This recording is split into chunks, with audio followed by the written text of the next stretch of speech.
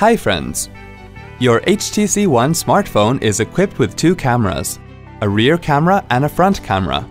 Here's how you can switch the camera from rear to front facing on your HTC One device. You will notice a slight difference in the screen transitions than the actual device screen transitions here.